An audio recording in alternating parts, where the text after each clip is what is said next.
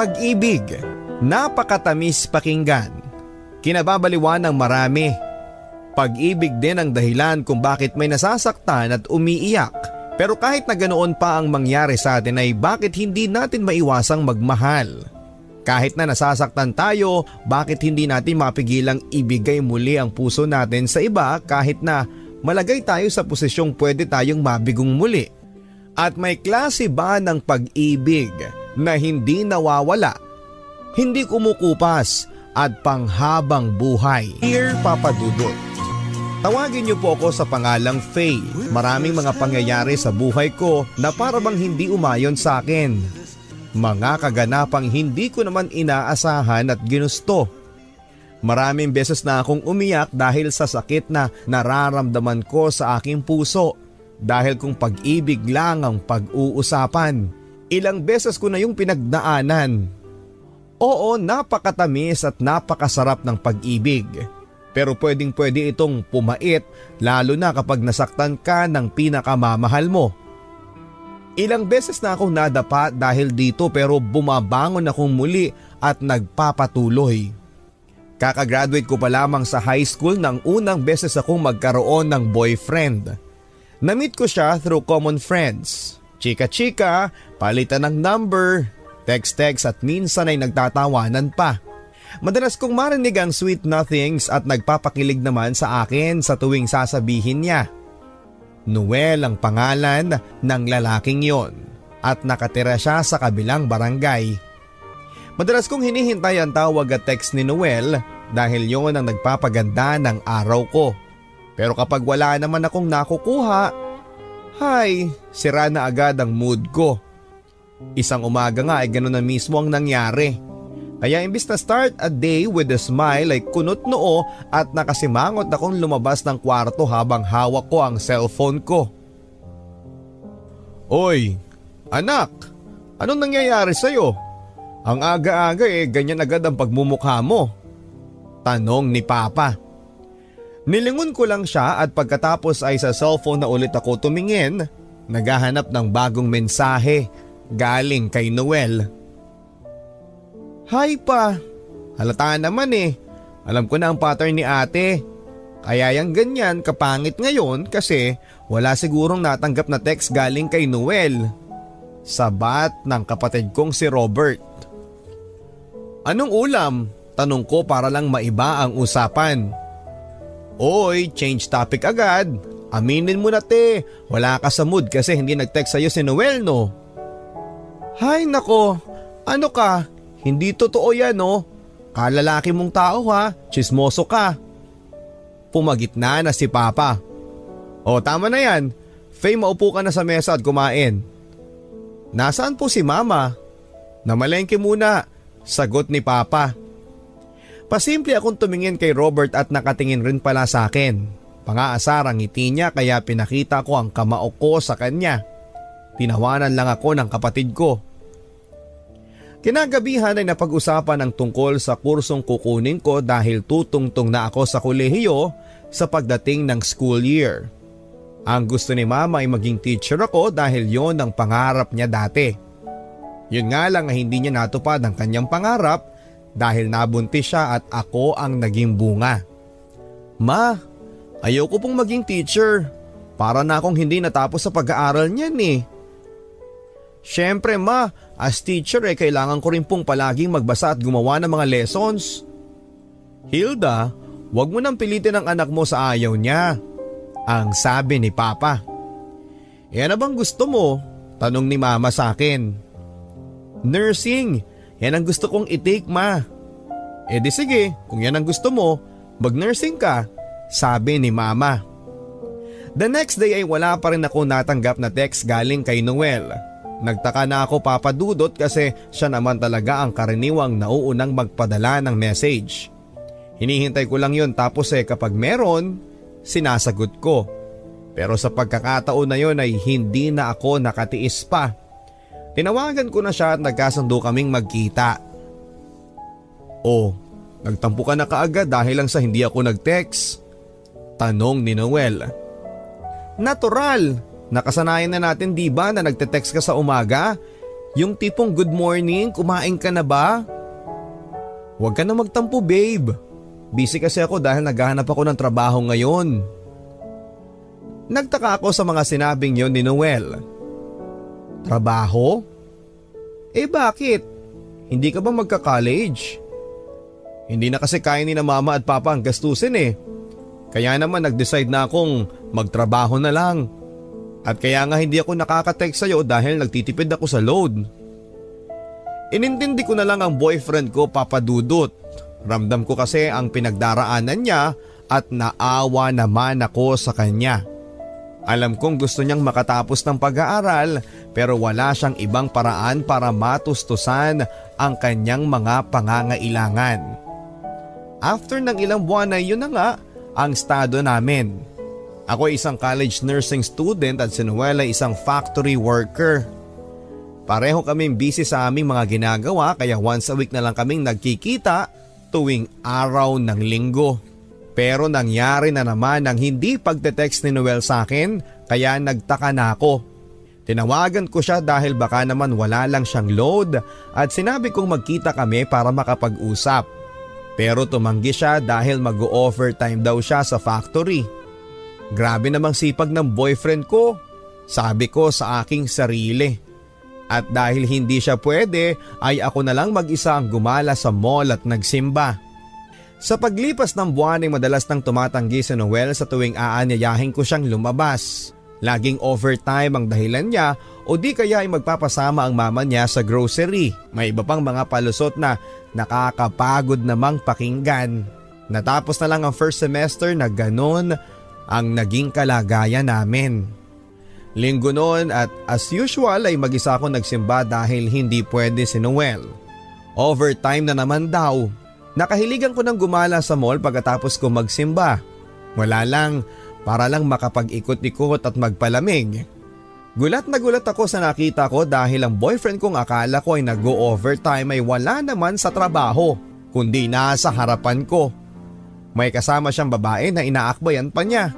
Maganda, sexy, maputi at mahaba ang buhok ng babae papadudot. Parang sasabog ang puso ko sa nakita ko pero hindi ko gawain ang pagiging eskandalosa kaya sinubukan ko pa rin kontrolin ang emosyon ko. Hindi ko na lang talaga kinaya. Hindi ko matiis kaya nilapitan ko sila. Sinungalin ka Noel? Sabi mo mag-overtime ka kaya hindi ka makakalabas. Eh ano to? Sabi ko habang naiiyak na ako sa sobrang sakit at gigil. Sino siya darling? Sabi ng babaeng kasama ni Noel. Sino ako? Ako lang naman ang girlfriend ng lalaking kasama mo. Tinuhog niya tayo. Pinagsabay. Napakalakas ng boses ko kaya naman nagsilingunan ng mga taong dumaraan. Faye, please. Huwag kang magskandalo rito. Umalis ka na. Sige na. Magpapaliwanag ako sa'yo. Tatawagan kita mamayang alas 8. Grabe ang naramdaman ko. Parang tinapak-tapakan ni Noel ang pagkatao ko sa mga sinabi niyang yon. Agad ako naglakad palayo kasi ayoko nang mapansin pa kami ng mga tao sa mall nakakahiya. Hindi ako makapaniwalang pinaalis lang ako ni Noel at hindi man lang niya piniling magpaliwanag on the spot kung ano talaga ang totoong nangyari. Pagkarating ko sa bahay ay hindi ako nagsalita. May sinabi si mama sa akin pero parang hindi ko marinig. Ang naririnig ko lang ay ang puso ko na dumadaing ng sakit. Noong nasa kwarto na ako saka ako nilamas ang aking nararamdaman. Iyak lang ako ng iyak habang tinitignan ko ang relo naghihintay sa oras ng pagtawag ni Noel. Dumating ang alas 8 pero wala pa rin. Tuloy lang ako sa paghihintay. Binigo na naman ako ni Noel. Naghahanap ako ng sagot sa mga tanong ko pero hindi naman siya tumawag. Kaya natulog na lang akong masama ang loob ko. Kinabukasan ay nagring ang telepono ko at nang makita ko ang pangalan ni Noel ay kagad kong pinindot ang answer. Hindi pa man ako nakapagsasalita ay nauna na siya.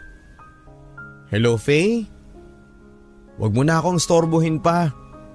Narealize kong hindi ikaw ang mahal ko kundi si Bea. Hindi ako makapaniwala sa kapal ng mukha niya. Yun agad ang sinabi niya at hindi pa man ako nakapagsasabi ng hello sa telepono. Bea? Yung babaeng kasama mo sa mall? Tanong ko. Napaiyak na lang ako habang hawak ko ang cellphone ko. Oo. Three months na kami ni Bea. Ibig sabihin, three months mo na ako niloloko at pinapaikot? Sorry pero ngayon eh sure na ako na siya ang love ko. Pinapili niya ako kagabi at siya ang pinili ko. Para akong nabingi sa mga sinabi niya mga kabarangay. Nabitawan ko ang cellphone ko at umiyak ako ng husto na parang wala ng bukas. Buong araw lang ako sa loob ng kwarto ko kaya pumasok na si mama dahil sa pag-aalala. Pinaliwanag ko ang nangyari sa amin ni Noel at pinatahan niya ako. Hindi lang daw si Noel ang lalaki sa mundo, marami pa raw dyan at makakahanap din ako ng taong masigit pa sa kanya. Niyakap ko na lang si mama at nangakong susubukan kong kalimutan si Noel. Alam kong hindi magiging madali yon dahil mahal ko siya. Natapos ang school year at natapos din ang sakit na nararamdaman ko para kay Noel. Oo, first love ko siya at akala ko eh siya na talaga pero tama si mama. Hindi lang siya ang lalaki sa mundo. May nakita akong lalaki na higit pa sa kanya, mas gwapo, pang model ang itsura at walang binatbad si Noel sa kanya. Walang iba kung hindi si Melvin. Classmate ko siya sa isang subject kaya kami nagkakilala. Umakyat siya ng ligaw sa bahay, may dalang flowers at humaharap sa pamilya ko. Dalawang linggo siyang ganon at inaya pa niya akong mag-date sa labas. May kaya kasi si Melvin papadudot kaya afford niyang pumunta sa mga mamahaling lugar. Ibang iba siya kay Noel dahil sa kanya ay feeling prinsesa ako. Yun ang dahilan kung bakit mas mabilis ko siyang sinagot at naging boyfriend. Noong araw na mag-yes ako sa kanya ay sobrang saya nga niya. As in paliligayahin daw niya ako at hindi raw ako magsisisi. Sobrang thoughtful ni Melvin. Kapag may padala yung nanay niya na balikbayan box galing sa US ay binibigyan niya rin niya ako ng kung ano-ano. Kapag magkasama kami, lagi siyang nakaakbay sa akin. Naisip ko ngang mabuti na lang at niloko ako ni Noel kasi kung hindi ay hindi ko makikilala si Melvin. Isang araw dinala ako ni Melvin sa isang lugar na hindi ko maintindihan kung ano. May garahe na pinasok ang sasakyan namin at pagkatapos ay nagsara ang garahe. Bumaba si Melvin sa sasakyan at pinagbuksan ako ng pinto. Melvin? Ano ba tong lugar na to? Bumaba ka na, sagot niya. Sagutin mo muna ako. Nasaan na ba tayo? May pintuan ako nakita na para bang pintuang papasok sa isang kwarto. Nasa motel tayo. Motel? Hindi ba? Hindi na ako nakatapos sa sasabihin ko dahil bigla akong hinalikan ni Melvin. Eh alam mo naman papadudot kapag gusto mo talaga ang isang tao, parang nakakapanghina kapag ginawa niya ang ganong bagay. Hindi ko na ikukwento ang susunod na nangyari dahil alam nyo na yon papadudot. Pagkatapos ng nangyari, sabi niya, magbihis ka na Iyahatid na kita sa inyo.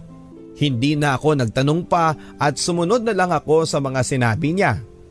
Habang pauwi kami ay hindi nagsasalita si Melvin. Hindi ko maintindihan ang kinikilos niya pero kinakabahan ako papadudot. O sige na pumasok ka na. Baka nagtataka na yung parents mo kung bakit wala ka pa. Medyo late na eh. Sabi niya nang nasa tapat na ng bahay namin ang sasakyan. Naghintay ako nang may iba pa siyang sasabihin sa akin pero tahimik lang siya. Bumaba na lang ako at pinanood ko ang pag-alis ni Melvin. Gulong-gulo ako kung ano nga ba ang nangyari at bakit naging ganon ang pakikitungo niya sa akin. Pumasok na lang ako sa bahay, nagbihis at naghanda para matulog. The next day ay inantay ko pa rin ang tawag mula kay Melvin pero kahit text ay wala siyang pinadala. Sinubukan ko rin siyang tawagan pero hindi ko na makontak ang number niya. Nagtanong-tanong ako sa mga common friends namin kung ano ang nangyari sa kanya pero wala rin silang maisagot sa akin. Wala na akong Melvin na nakita sa campus.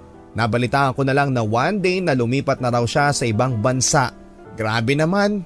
Nagawa niyang umalis ng hindi nagpapaalam sa akin. Lalo na't pagkatapos ng may mangyari sa amin. Yun lang ba talaga ang habol niya sa akin kaya niya ako pinagtsaga ang ligawan at suyuin? Hindi ako makapaniwalang ganong klaseng lalaki pala siya kaya napaiyak na lang ako sa sama ng loob papadudot. Ang lalaking akala ko kasi ay siya nang magseseryoso sa akin at magiging matinong boyfriend ko ay sasaktan lang din pala ako.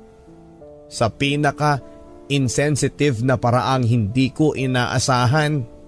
Mabuti na lang at nandyan si mama para ipaalaala palagi sa akin na hindi lang si Melvin ang nag-iisang lalaki sa mundo. Darating at darating din daw ang para sa akin. Kung kailan ay hindi ko alam pero habang pinapatahan ko pa ang puso ko ay mabagal ang proseso ng pag-move on mula sa ginawa ni Melvin sa akin. Natapos ulit ang isang semester at dumating ang araw ng enrollment, second year na ako. Dahan-dahan ay nakalimutan ko na si Melvin at ang ginawa niyang pananakit sa akin. Mahirap papadudot dahil hindi nabigyan kasagutan ang mga tanong sa isipan ko kung bakit siya biglang nawala. Pero sa paglipas ng time ay nakalimutan ko rin yon. Nag-attend ako sa birthday party ng kaibigan kong si Vivian. Maraming mga bisita si Vivian at ang kuya niya. Isa na doon si John. Napaka-komedyante ni John Papadudot. Kaya enjoy na enjoy akong kausapin siya. Hindi ako nabuboard dahil lagi niya akong napapatawa at magaling ding siyang makinig sa mga sinasabi ko. Sa pag-uusap namin ay napunta kami sa topic ng relationships. Nabanggit ko sa kanya na wala akong boyfriend. Eh pareho pala tayong walang boyfriend eh, este, karelasyon. Kaya siguro pinag-meet tayo sa party na to. Destiny talaga nating magkakilala. Patawang sabi pa niya sa akin. Ano bang ibig mong sabihin? Nagtanong pa ako kahit na halata naman ang gustong sabihin ni John sa akin. Hindi siya kagwapuhan gaya ni Melvin na kutis at itsurang artista pero gusto ko siya dahil masarap kausap. Hindi pa ba obvious? Well, gusto kong ligawan ka. Wala naman siguro magagalit kasi kasasabi mo lang na single ka, hindi ba? Ibig sabihin may chance ako. Tanong ni John sa tonong napaka-sweet pakinggan. Tumango lang ako kasi medyo nahihiya akong sumagot. Sa school ay lagi akong sinusundo ni John Isang buwan muna siyang nanligaw sa akin bago ko siya sinagot at sobrang saya niya noong sabihin kong kami na. Napatalon pa nga siya sa sobrang tuwa niya pagkatapos ay yumakap sa akin sabay buhat at inikot ako na parang sa pelikula. Nahilo nga ako ng slide papadudot pero masaya ako sa naging reaksyon ni John sa sinabi ko. Papadudot, Masaya na sana ako sa relasyon namin ni John pero sa pangatlong beses ay nagkamali na naman ako. Bigo na naman ako mga kabarangay dahil nalaman kong galing sa classmate ko na may anak at asawa na pala si John. Magkapit bahay kasi sila kaya naikwento niya sa akin sa pag-aakalang alam ko na ang katotohanan. Kaagad kong tinawagan si John at nagkita kami sa isang karinderyang lagi naming pinupuntahan. Nagulat siya ng malutong na sampalang ginawa kong pagbati sa kanya. Sorry Faye, hindi ko sinabi sa iyo ang totoo na may asawa na ako at mga anak. Ayokong saktan ka at syempre, ayokong lumayo ka sa akin. Pagpapaliwanag niya. Bakit? Dahil gusto mong ipagpatuloy natin ang kabaliwan na to? Ano kahilo? Hindi ko pinangarap na maging kabit ng kahit na sino dyan. Break na tayo. Desidido na ako noong moment na yon na makipaghiwalay sa kanya kaya wala siyang nagawa kundi ang tanggapin na ang lahat. Hindi naman niya pwedeng hiwalayan ang asawa niya at iwan ang mga anak niya. Wala din sa bukabularyo kong mangagaw ng asawa at manira ng pamilya. Hindi ko yun gusto. Once again ay kailangan ko na namang mag-move on. Sa loob ng 3 years ay tatlong relasyon na ang aking napasukan.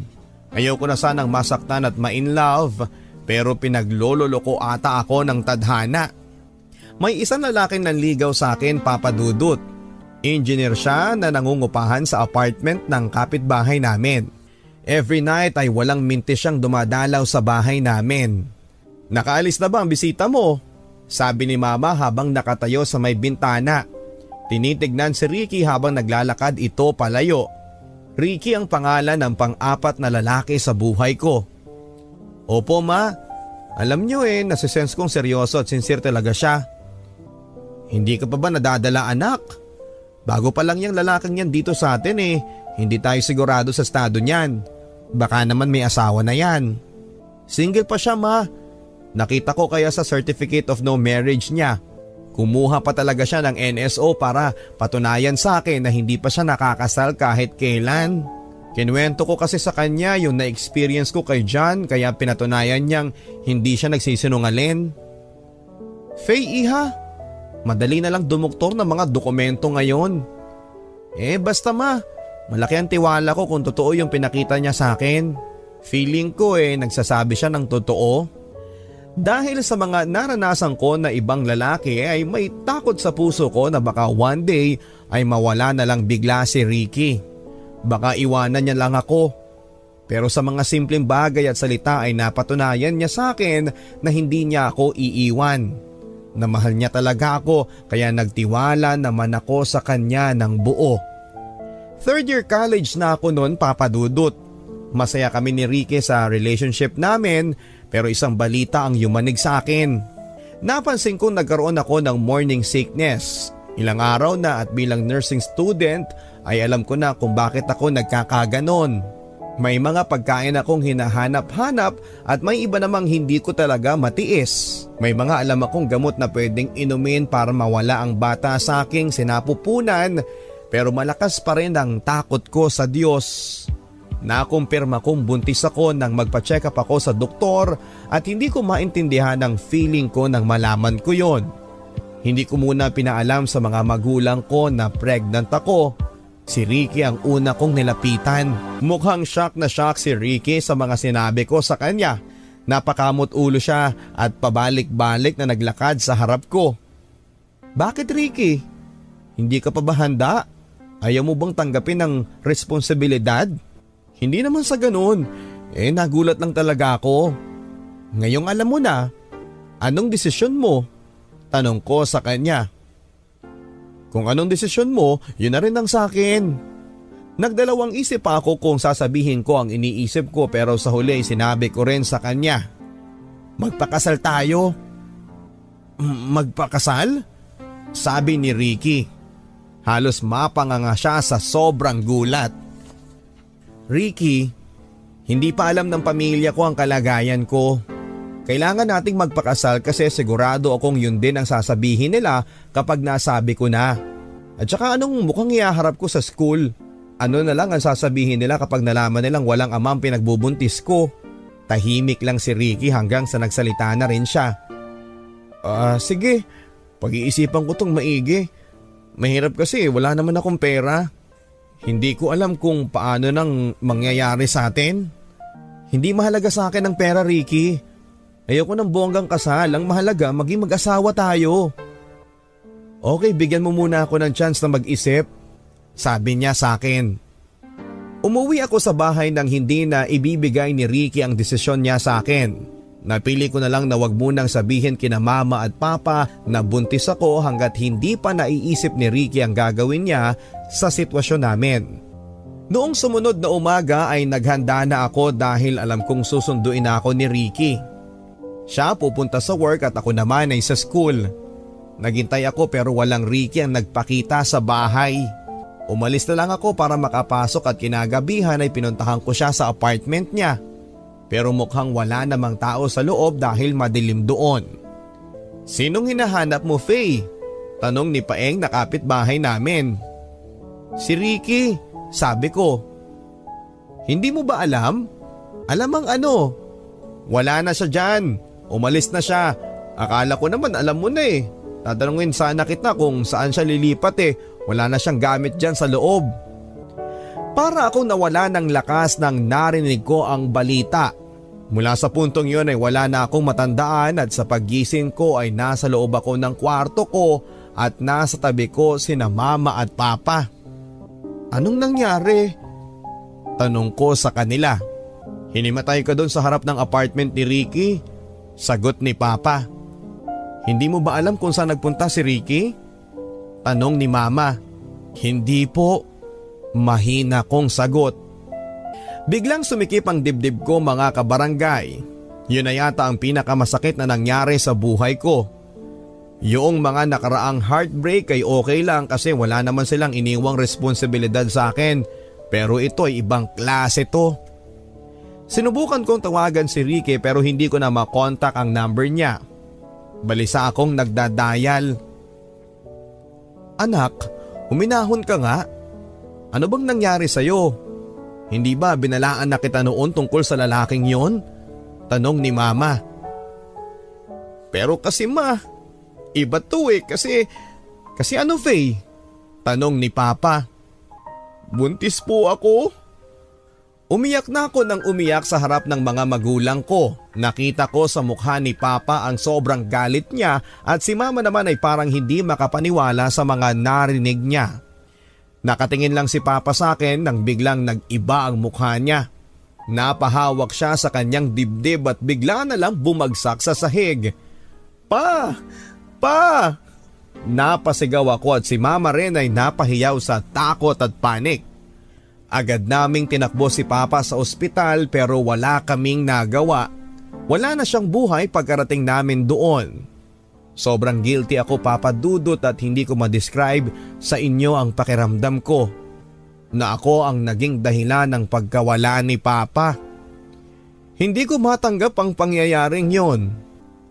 Araw-araw Lalo na kapag wala ng tao sa burol ay umiiyak ako sa tabi ng kabaong ni Papa. Mabuti na lang at si Mama, hindi ako sinisi sa mga nangyari. Siya pa nga nagsabi sa akin na huwag kong sisihin ang sarili ko sa pagkawala ni Papa. Noong ilibing na si Papa ay nangako ako sa kanyang ililibing ko na rin ang puso ko. Hindi na ako magmamahal at magpapaloko pa. Tama na, suko na ako. Wala nang lugar sa buhay ko ang mga lalaki. Ibibigay ko na lang ang atensyon ko sa magiging anak ko, sa pamilya ko. Umagos ang lahat ng luha mula sa mga mata ko sa araw na yon dahil sa tindi ng lungkot na nararamdaman ko. Hindi ko na makikitang muli si Papa. Wala na siya. Makalipas ang 9 months ay sinilang ko ang isang napakagandang baby girl. Si Rachel, siyang naging dahilan ko para mabuhay. Lalo na sa panahong naghihirap kami. Magmula na mamatay si Papa ay hirap kaming itaguyod ang pamilya. Ang kapatid ko nag-aaral pa. Samantalang si Mama ay wala namang trabaho. Naisipan niyang magtayo ng tindahan gamit ang perang nakuha niya sa kumpanya ni Papa at saka sa SSS pero nalugi din ang negosyong yon. Mabuti na lang at nakakuha ako ng trabaho bilang office clerk. Hindi man malaki ang sweldo, at least ay meron. Ang hirap dahil ako na lang ang naging padre di pamilya. Ibig sabihin papadudot, lahat ng kita ko ay ubos kaagad sa gastos namin. Sa paglipas ng panahon, hindi pa rin mawala sa isip at puso ko na ako ang naging dahilan ng pagkawala ni Papa. Kaya inako ko ang responsibilidad na iniwan niya sa pamilya at higit sa lahat ay sa anak ko. Doon ko sinentro ang buhay ko. Pagod man ako sa trabaho ko ay sinikap kong magkaroon ng oras para sa anak ko. Totoo pala ang sinasabi nila na kapag inspirasyon mo ang iyong anak ay nawawala lahat ng pagod mo sa mundo. Gumagawa na lang ako ng paraang rumakit at kumita on the side bukod sa trabaho ko dahil ako rin ang umaako sa pag-aaral ng kapatid kong si Robert. Isang araw, kinausap kami ni mama ng kapatid ko. Ano yun Robert? Bakit mo kami gustong makausap? Mukhang importante yan iho ah. Eh ano ba yan? Tanong ni mama. Seryoso ang mukha ni Robert kaya lalo akong kinakabahan. Pinagbabantaan po ako ng papa ni Carla. O eh bakit ka naman pinagbabantaan ng tatay ng girlfriend mo? Ano bang nagawa mo? Tanong ko sa kanya. Pakasalan ko raw ang anak niya kung hindi ipapatayin niya ako ma. Te, eh nabuntis ko kasi si Carla eh. Diyos ko, eh bakit hindi ka nakinig sa amin ng ate mo? Hindi naman kami nagkulang sa pagpapaalala sa iyo ah. Naiiyak na sabi ni mama kay Robert. Anong plano mo ngayon? Kalmado kong tanong. Mahal ko si Carla te, gusto kong pakasalan siya. Bakit? May pera ka ba para buhayin siya at ang anak nyo? Tanong ni mama. Ma, ako nang bahala. Magpapakasal si Robert at Carla. Sagot ko at pagkatapos ay tumayo na ako. Sinikap kong maghanap ng pera para lang matuloy ang kasal. Nag-overtime ako, nangutang ako at ginawa ko ang lahat. Naiintindihan ko kasi ang estado ni Carla dahil naranasan ko na yon noon at ayokong ma-experience din niya ang pinagdaanan ko. Gusto ko ring matuto si Robert na panindigan ang kanyang responsibilidad. Pagkatapos ng kasal ay pinalipat ng tatay ni Carla ang mag-asawa sa Mindoro. Doon daw magkakaroon ng pagkakakitaan ng kapatid ko dahil may farm ang pinsa ni Carla. Sumunod naman si Robert at Carla at umalis papunta ng Mindoro. Samantalang kami ni mama at ang anak ko ang naiwan. Kahit na nabawasan ako ng isang pakakainin ay hirap pa rin ako makabayad ng mga utang ko Buwan-buwan ay sumasakit ang ulo ko sa paghahanap ng pambayad pero interest lang ang nababawasan ko. Panay ang paghahanap ko ng paraan para kumita pero wala talaga akong mahanap na solusyon bukod sa pag-abroad. O sige, kung yan ang desisyon mo, hindi ako tututol. Sabi ni mama. Ang late pa lang ng anak ko. One year plus pa lang siya tapos ay iiwanan ko na siya. Naluluha ako habang sinasabi ko yon. Faye, ikaw na mismo ang nagsabi na malaki ang responsibilidad at dahilan mo kaya aalis ka. Alam mo naman ang hirap na dinadanas natin, hindi ba? Alam kong ako ang nakaisip na mag-abroad pero syempre, hindi mawala sa isipan ko ang baby kong si Rachel. Kung may choice lang talaga ako papadudot, hindi naman ako aalis dahil ayokong malayo sa kanya. Patuloy ako sa work ko habang inaayos ko ang mga papeles ko para sa pag-abroad bilang isang domestic helper sa Singapore. Yun kasi ang malakas na demand, papadudot. Marami akong nakita sa mga agency na naghahanap ng yaya o maid kaya pinatulang ko na dahil gusto kong mapabilis ang pag-alis ko. Nakahanap naman ako ng trabaho pero dahil nga may placement fee sa agency, eh nangutang na naman ako para lang makaalis na. Dagdag na naman sa lumalaki kong utang. Pero sige na, bahala na. Gagawin ko ang kailangan ko para makapag-abroad. Dumating na rin ang araw ng pagalis ko papunta ng Singapore. Sa wakas ay may chance na akong makapagbigay ng magandang kinabukasan sa anak ko. Hindi lang naman para sa akin ang ginagawa kong ito. Actually, hindi talaga para sa akin. Pero mas mahalaga sa akin ang pagiging isang ina at ang pagtupad sa responsibilidad ko kay Rachel. Sa natitirang oras naming magkasama ay yakap-yakap ko lang siya habang tumutulo ang luha ko. Pangako anak, magkikita ulit tayo. Ginagawa ni mama to para sa'yo. Huwag mong kakalimutan ha. Para sa'yo to, mamimiss kita. Pag uwi ko ay hindi na kita iiwanan pa. Paulit-ulit kong sabi sa kanya. Sige na Faye iha, baka mahuli ka na sa flight. Paalala ni mama. Napagdesisyonan kong huwag nang magpasama kina mama at Rachel sa airport dahil baka lalo akong mahirapang umalis. Mas gusto ko yung nasa bahay na lang sila para hindi madagdagan ng hirap at lungkot ko. Dala ang bagahe, hindi na ako lumingon pa sa bahay noong makalabas ako. Pinipigilan kong umiyak Konting tiis lang Faye. Pagbalik mo sa Pilipinas, hindi mo na iiwanan si Rachel. Tiis ka lang.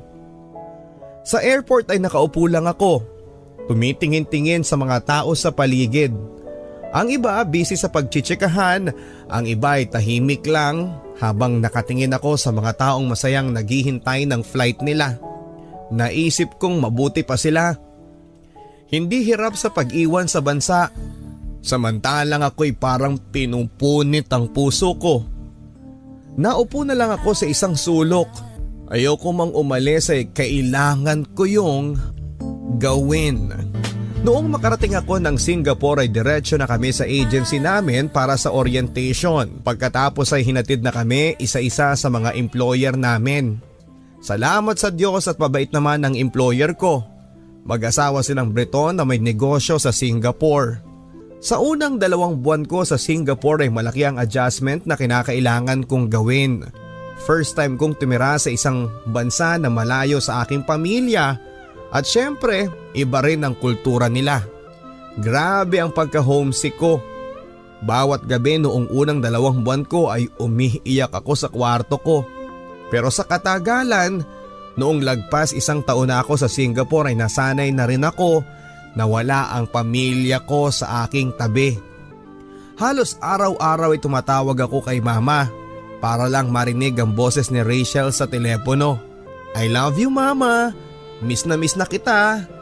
Yan ang lagi niyang sinasabi na hindi ko pinagsasawaan kahit kailan. Nawawala ang pagod ko kapag naririnig ko ang mga salitang yon. Medyo mabigat din ang trabaho ko kasi imbes na yaya ng anak nila ang naging parang all around na rin ang trabaho ko. Pero hindi na bale, mabait naman ang mga amo ko kaya hindi ako makapagreklamo. Kapag lumalabas sila at kumakain, kahit sa mamahaling restaurant ay sinasama nila ako. Kapag nagbabakasyon nga sila sa abroad ay kasama pa rin ako. Kaya nga nakapunta ako ng Hong Kong, China, Macau, Malaysia, Thailand dahil sa kanila. Pero ang pinaka-memorable sa akin ay ang pagpasyal namin sa Korea mga kabarangay. Napakaganda po roon. Isa pang dahilan kaya hindi ko makalimutan ang bansang iyon ay ang Pinoy na namit ko.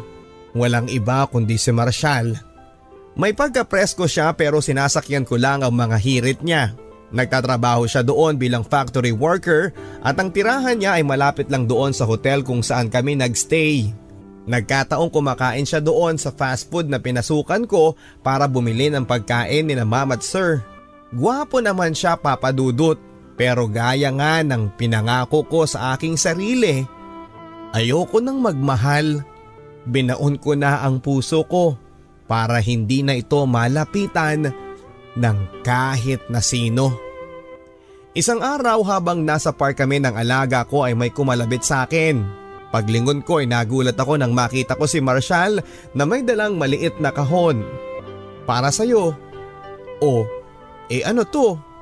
Saka paano mo nalaman na nandito ako? Mamaya na yan. Basta buksan mo na lang yan.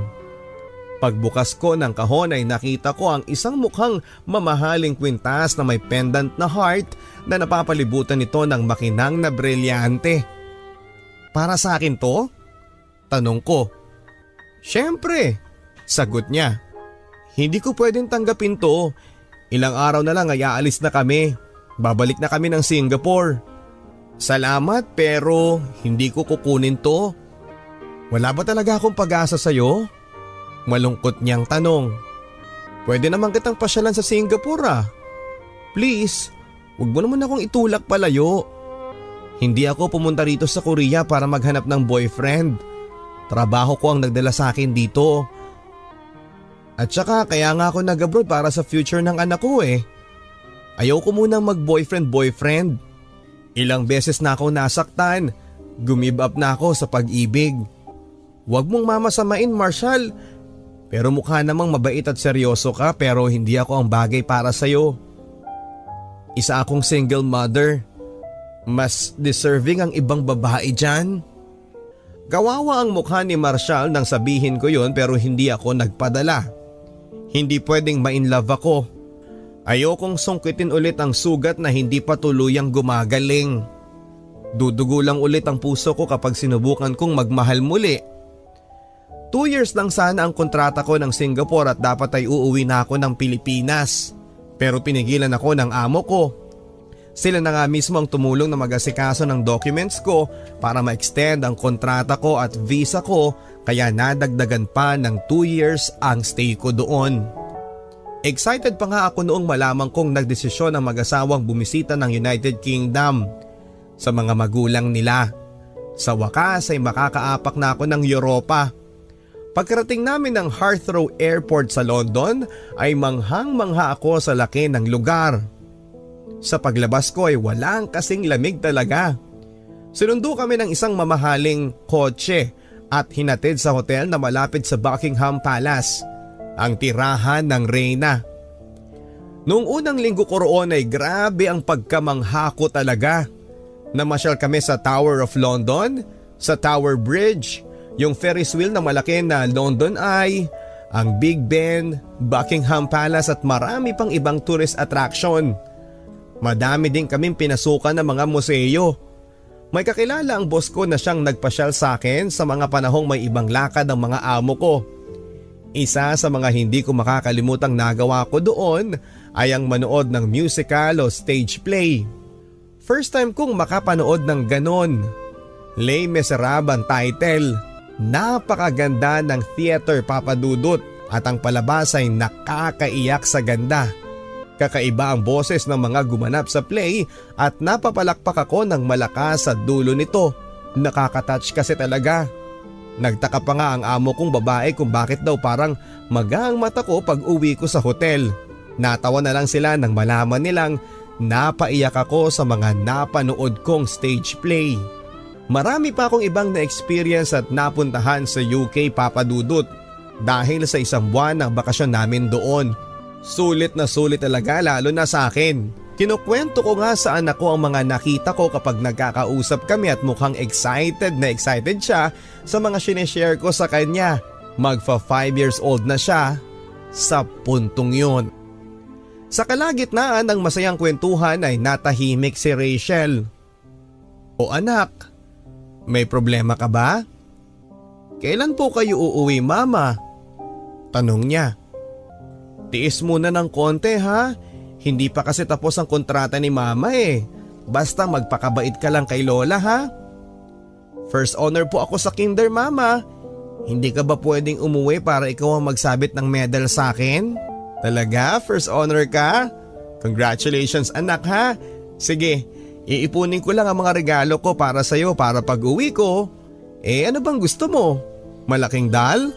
Kahit ano na lang po basta nandito kayo. Pero anak, hindi pa pwede eh. Nandiyan naman si Lola. Isipin mo na lang ako ang nagsasabit ng medal mo. Okay, hihintayin kita mama. Sana makauwi ka na kaagad. Rachel anak, isang taon na lang, darating na si mama dyan.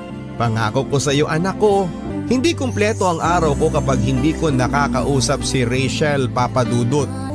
Kahit na miss na miss ko na siya ay napilitan naman ako magstay ng Singapore dahil hindi sapat ang unang kontrata ko para mabayaran ang utang na iniwan ko sa Pilipinas.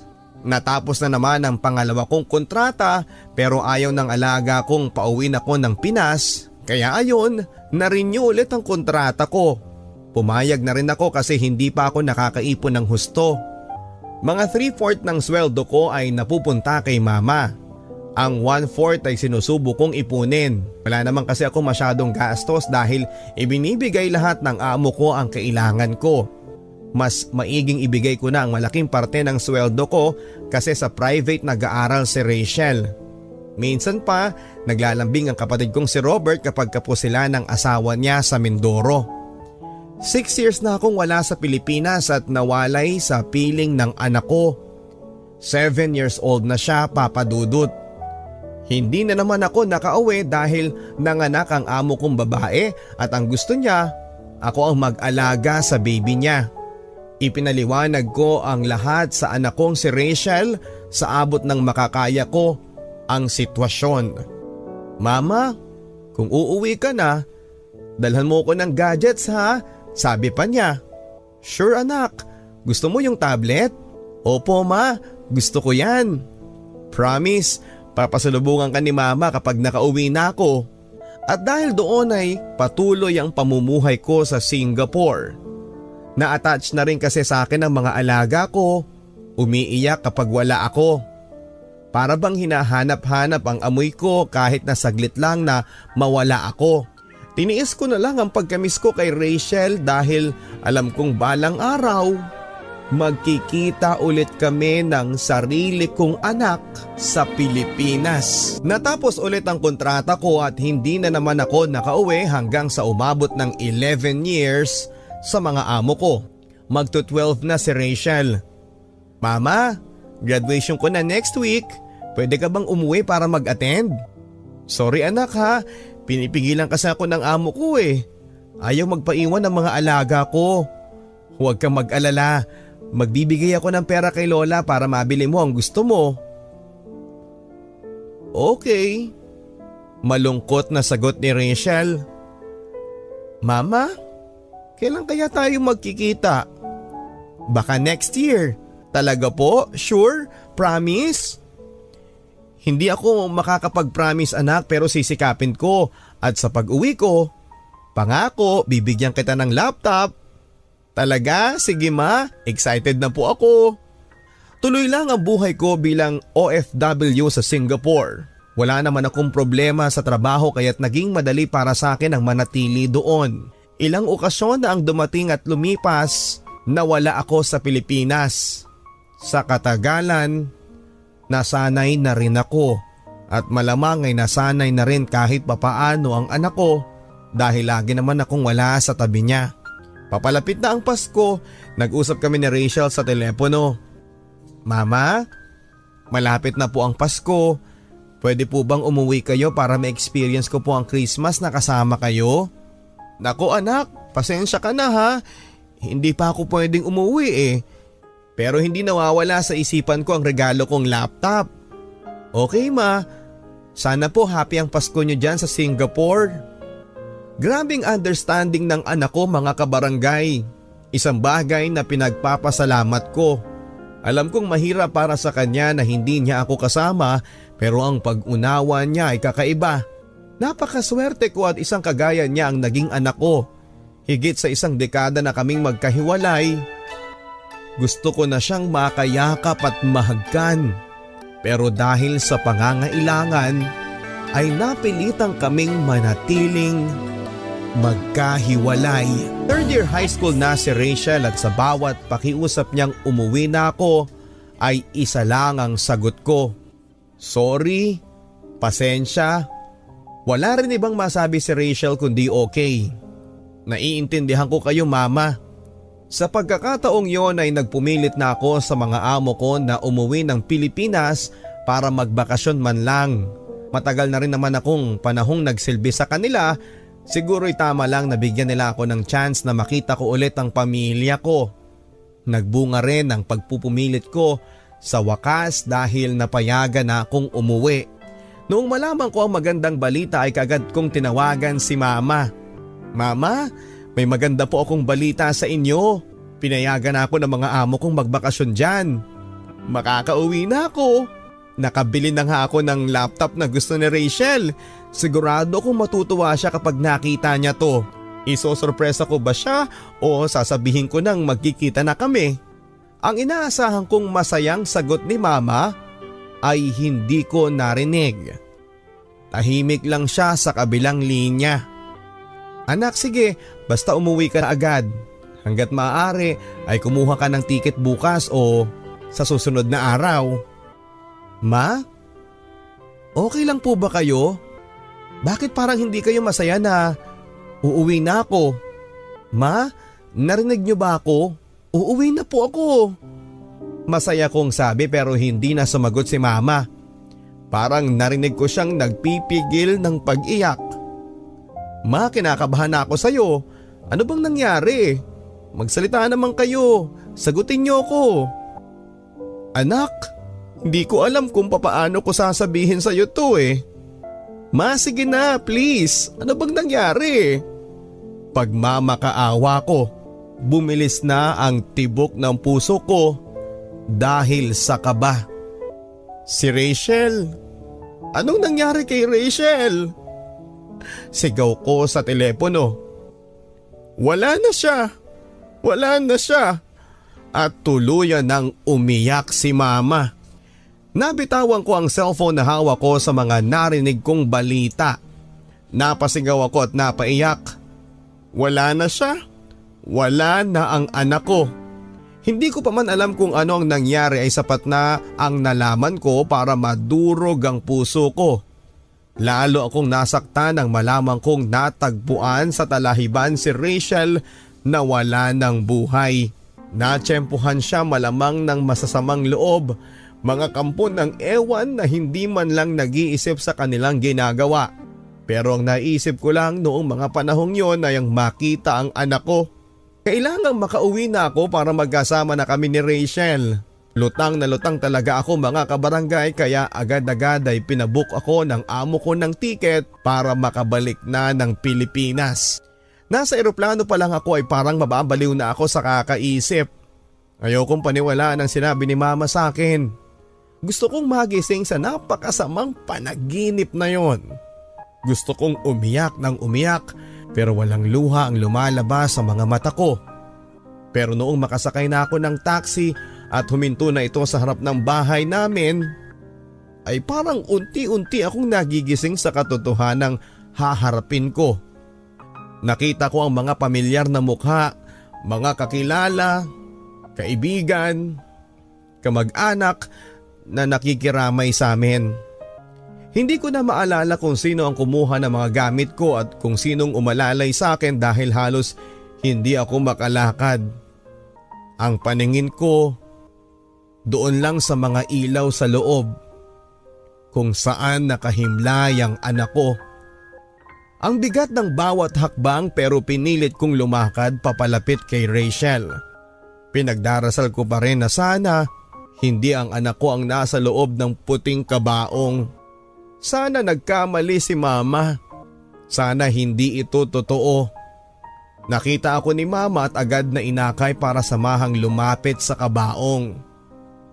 Noong makasilip na ako sa loob nito ay doon na lumabas lahat ng emosyong hindi makalabas noong nasa eroplano ako. Napasigaw ako at napaiyak. Halos magwala nang makita ang aking anak na wala ng buhay. Ang tagal kong hinintay na makita siya pero sa ganung pagkakataon pa pala kami magkakatagpong muli. Anak, nandito na si mama. Dala ko lahat ng request mo sa akin. Hindi pa gusto mo magkasama tayo ulit? Nandito na ako. Pero bakit di mo ko naantay? Bakit mo ko iniwan? Anak, pasensya ka na. Hindi ako nakauwi ka agad. Lahat ng request mo sa akin na umuwi dito para makasama ako, hindi ko napagbigyan. Ang simpleng hiling mo hindi ko natupad. Anak, patawarin mo si mama. Kada gabi ng lamay ay nakamasid lang ako sa anak ko. Umiiyak at patuloy na nagdurugo ang puso ko. Sinisisi ko ang aking sarili sa mga nangyari sa kanya. Sana nasa tabi niya ako ng mga panahong lumalaki siya. Kung siguro ay umuwi ako ay baka hindi nangyari ito sa kanya. Ilang beses ba niya akong sinabihan na umuwi na sa Pilipinas pero lagi kong inuuna ang trabaho ko at pera na para rin naman sa kanya. Pero hindi niya kailangan ng material na bagay. Ako ang kailangan niya sa buhay niya. Nasa huli nga talaga ang pagsisisi at sobrang sakit para sa akin na ito ang sinapit ng anak ko. Hindi ko na siya inabutan. Hindi ko na siya nakasama. Noong araw ng libing ay walang tigil ang paghiyaw at pag-iyak ko habang ibinababa ang kabaong sa lupa. Para akong mababaliw papadudot. Ilang taong kong inalagaan ang anak ng iba pero ang sarili kong anak hindi ko naalagaan. Anak, patawarin mo ko. Ikaw ang dahilan kung bakit ako umalis pero sana hindi na lang kita iniwan. Sana malaman mong ikaw ang buhay ko. Ikaw ang lahat para sa akin. Anak, mahal na mahal kita. Sabi ko sa harap ng libingan. Isang linggo makalipas ng libing ay tinawagan ko ang mga amo ko sa Singapore. Nagdesisyon akong huwag nang bumalik doon dahil wala na rin akong dahilan para mag-abroad pa. Wala na ang anak ko, para na rin akong namatay sa pagkawala niya at nawala ng inspirasyon para magtrabaho. Wala nang nagawa ang mga amo ko kundi ang pumayag sa gusto kong mangyari kahit na ayaw nila akong pakawalan. Lahat ng mga napagdaanan kong sakit dahil sa pag-ibig noon ay walang sinabi sa sakit na nararamdaman ko ngayon. Kahit na one year nang nakalipas Magmula noong iwanan ako ni Rachel ay hindi pa rin nababawasan ang lungkot sa puso ko. Minsan nga ay nahihirapan akong bumangon sa umaga dahil naiisip ko lang ang katotohanang hindi ko na siya makikitang muli. Napakahirap, napakabigat. Kapag nawalan ka ng boyfriend o asawa, madali lang. Palipasin mo lang ang panahon ay okay na nakapag-move on na. Pero ang anak, buhay mo yan at kapag nawala siya sa iyo ay parang nalagutan ka na rin ng hininga. Ang pagmamahal ng isang ina ay tunay. Wagas at hindi natatapos. Hindi kagaya ng ibang pagmamahal na makukuha mo sa karelasyon o kaibigan. Mahirap mang magpatuloy ay sinusubukan kong suungin ang buhay ko. Dala ang alaala ng anak kong si Rachel. Maraming salamat sa pagbasa ng aking sulat papadudot. Sana sa pamamagitan nito ay matulungan din ang mga sugat na aking nakaraan na maghilom. Ang inyong kabarangay, Faye. Mga kabarangay, natututo tayong bumangon at magumpisang muli kahit na ano pang mangyari sa atin. Kapag nasaktan tayo ng taong mahal natin, sinusubukan nating kalimutan ang lahat ang dahilan ng ating mga luha. Pero para sa inang gaya ni Faye ay hindi madaling kalimutan ang karugtong ng kanyang buhay. Ang anak na si Rachel. Sabi nga nila, hindi mo naman daw talaga makakalimutan ang sakit ng pagkawala ng isang taong mahalaga sa iyo. Nasasanay ka na lang na wala sila sa paglipas ng panahon. Pero sa tuwing maaalala mo sila, hindi mo mapipigilang mapaluha at malungkot para kang may sugat na hindi tuluyang naghihilom at laging dumurugo sa tuwing naaalala mo ang taong umiwan sa iyo. Ang pagmamahal ng isang ina ay hindi mapapantayan dahil paghiwalayin man ang kamatayan ng ina at anak, hanggang sa kabilang buhay ay tatawid ang pag-ibig na namamagitan sa kanilang dalawa. Maraming salamat sa iyo Faye at napili mong magbahagi ng iyong kwento sa programang ito. Salamat po sa pagtitiwala at asahan po ninyo na mas marami pa tayong magagandang mga sulat at mga kwento na magbibigay ng inspirasyon ng ating ibibigay sa inyo. Sa mga nais pong gumaya sa kanya at magbahagi ng kanilang mga love stories, maaari po kayo magpadala sa bls971 at yahoo.com. Bisitahin din po ang ating pong Barangay Love Stories official fan page at hanapin din po ang Papa Dudot sa Twitter. Marami din pong salamat sa lahat ng mga nanonood kay Papa Dudot sa Love Hotline sa GMA7. Hanggang sa susunod pong linggo mga kabarangay, huwag kalimutang itutok ang radyo sa Barangay LS at sa lahat ng mga RGMA FM radio stations, Barangay FM stations nationwide para sa mga kwento ng pag-ibig, buhay at pag-asa sa Barangay Love Stories number 1.